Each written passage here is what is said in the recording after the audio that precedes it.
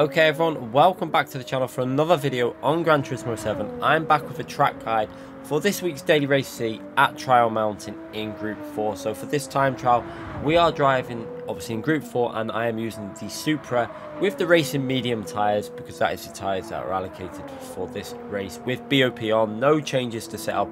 The only change that we make during the qualifying and during the race is brake bias 2 plus 3. That's partly to save some of the front tyres although brake bias doesn't do a massive amount for your front tyres anymore in this game. It does a slight amount but it's also mainly for the rotation with these high speed corners where you want to get the you want to get the car swinging in as fast as possible. So you can see the brake bias on plus three there. Let's get into this track guide. If you do like these videos, subscribe to the channel, hit the like button. It helps the channel out massively. I appreciate everyone who does that. And yeah, let's see if we can help you get a few more wins this week or podiums and improve your time trial time. So going into turn one, you're going to be looking out. You can see the tents on the left hand side and you can see the first yellow tent there. Now you're going to be basically braking at the end of that yellow tent. And also make sure your right hand tyre is all the way up on the curb on the right hand side just to widen the line into this fast left hand corner. So as we approach this you can see you can really take a lot of this corner off. Right hand tire basically touching the white line on the right hand side. That is you basically how you got to do. You got to get as much corner off these apexes as possible. Again over the apex here you can see left hand tire basically onto the curb on the left hand side and a little lift off the throttle as we go to the top of this hill just helps stabilize the car as you go over that crest and then back onto the throttle aggressively. And this fast left hand corner is completely flat out. You just want to try and get that line into the corner. So give yourself a bit of space to turn in and accelerate out into the next braking zone. Now for this we are going to use the end of the yellow wall on the right hand side as a reference there or the start of the tunnel. I tend to use the start of the tunnel and just brake by a visual sight to that, but you have got that reference on the right there if you need it. You can see dead on the end of the yellow tunnel, the yellow wall on the right, you're onto the brakes. Now, trail braking is very important for some of these corners. Into this, you trail braking into it, and then onto the throttle as early as possible, and use the full width of the track. It's very important this track is all about really getting the full width in, angles into the corners. Again, this rock on the left, braking reference, perfect reference for this right-hand corner braking just before that rock.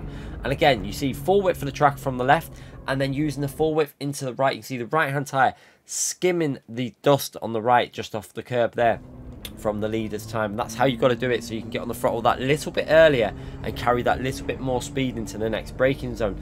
Now for this corner, very important corner this, you can brake or make your lap in this one end of the curb on left brake just before that and try and get it rotated in so that your right hand tyre is going to get up onto the curb on the right hand side and then onto the throttle as early as you can to get this momentum out of this corner and, and into this next braking zone. Now you want to kind of imagine a line just into the tunnel, five meters into the tunnel and you're going to brake just on that line there and rotate it into this apex. Now you want to get it nice and tight through this really fast corner. I go down to third gear, let it rotate in. Then once you feel the grip building, get onto the throttle and try and keep that line all the way through this corner. You don't want to let it drift out wide because then you can hit the wall on the outside as you go into the tunnel. So upshift to fourth gear, accelerating all the way out now and now powering your way all the way into the next braking reference. This is all about speed, so this car is reasonably okay on that sixth gear. There is faster cars for this straight, but this car's got such good ability at the high speed corners. That's why we're using the Supra for the time trial. Now we're using this very easy reference as our braking. You see the big yellow sign on the right hand side there, perfectly placed for your braking reference. You're going to brake dead on that signpost. So as you hit it there, you can see onto the brakes and now we're going into this cambered left hand corner again trail braking very important all the way through these corners and you're going to use a bit of the camber but try and get this car right up close to the, the wall on the left hand side so you can see trail braking in trail braking in. Let the car coast a bit then back onto the throttle close as we can to the left hand side where that curb is and then use the full width of the track as we accelerate out up this hill now into the next braking the zone. Now you do have some cones on the left hand side. You have two cones there and one cone there. We're actually going to use the log past the last cone. So that little bit of um, tree where it's broken off is a perfect reference for this corner. Obviously in group four you're going a little bit slower so you can brake a little bit later and now into this right hand corner. Now you want to get this car slowed down and again a little bit of trail braking as you're going in, right hand tyre up onto the curb and then onto the throttle as early as you can to carry that momentum out of this corner. It's all about getting them speeds from the exits and obviously full width of track using this wide track to your advantage. Again, onto the brakes before we get to the bottom of the dip where you see that little crest on the bottom there we're going to brake nice and early just before that and then let the car rotate down to second gear then back up to third gear and let the car accelerate out of this corner again. Use the full width for track right hand tire almost onto the grass and now into the next braking zone. We're going to use my trusty bit of moss on the right hand side there. You can see I always use this moss on the right hand side of the wall there brake just before that downshift through the gears and then just be very quiet. You want to take kind of a late apex into this corner try and widen the line in you can see very wide in rotating it in down to first gear then back up to second gear as your car is onto the curb a little bit of throttle to help rotate the car and then again you want to swing it in so that you're really concentrating on your exit speed for this corner it's all about getting the exit speed and staying on that throttle all the way to the finishing line. And again, use the full width for track. It is very much reminds me of the St. Croix track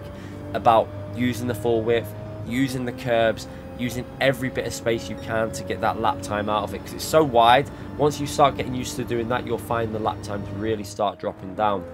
So again, watching the lap from the chase camera, you can see what we're talking about here with the full width. You can see the right hand tire up onto the curb here. You can see there up onto the curb and then again over the apex using the massive amount of a cut there and again on the right side you can really cut over the top of that hill and then into this tunnel section braking just before we enter the tunnel let that trail braking take place and then just let the car coast a little bit before getting back on that throttle. And again into this really fast right hand corner. This is actually faster than you think. So you're going down to second but then you can go into third gear before you come out of the corner. Again it's so important to get these exit speeds. Again this one you see we go third gear and then onto that throttle.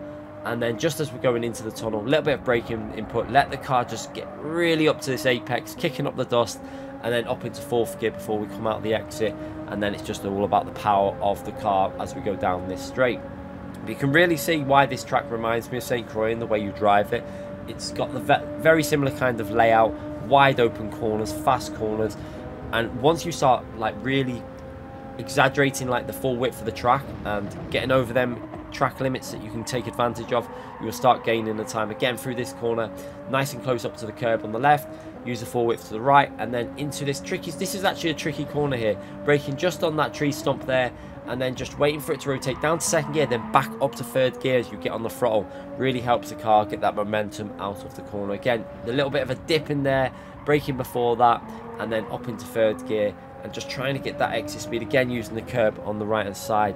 Now into that braking zone, like I said before, that little bit of mould on the right hand side, you can see how we use that.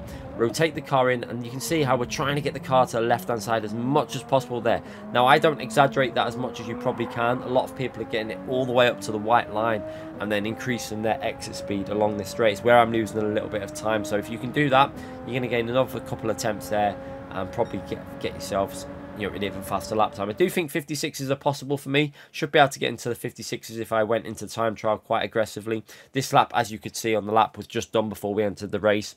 wasn't actually time trial, and We were just like doing laps before we went in. So, yeah, there's a lot of potential to probably get a 56 out of that. But hopefully you'll enjoy this guide. Hopefully it'll help you out. Hopefully it'll help you get a few wins or podiums. Let me know in the comments and I'll be back with these in the future. Thanks again for watching, everyone. Bye.